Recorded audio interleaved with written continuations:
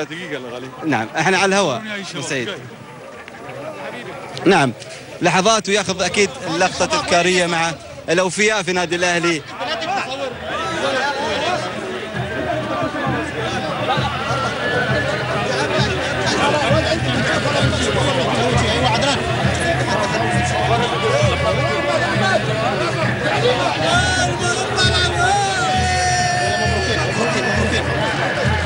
بو سعيد ألف مبروك.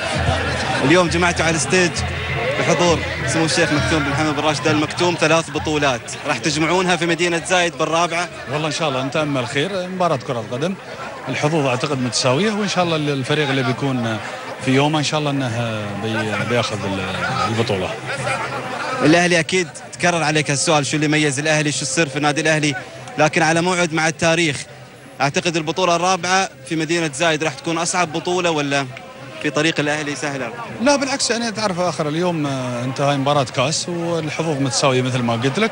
ما في شيء سهل في كرة القدم. كل مباراة تحتاج مجهود تحتاج آه، عمل وإن شاء الله إن اللاعيبه آه، بيكونون في يومهم. شو تقول في اليوم بالذات يوم أتوقع تاريخي الاهلي والله أقول طال عمرك اولا الحمد لله بفضل الله يعني هذا اليوم وصلنا إليه بعد موسم شاق من العمل.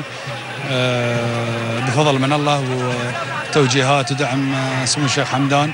آه، كانت أكيد يعني لها ال- ال- البصمة الكبيرة آه، مع الفريق في طول هالفتره آه، وشرفنا اليوم سمو الشيخ آه، مكتوم آه، نائب حاكم دبي نائب رئيس النادي. آه، أكيد يعني فرحة أهلاوية كبيرة. إن شاء الله إنها تستمر الافراح ألف ألف مبروك. شكراً طبعاً. ألف ألف مبروك.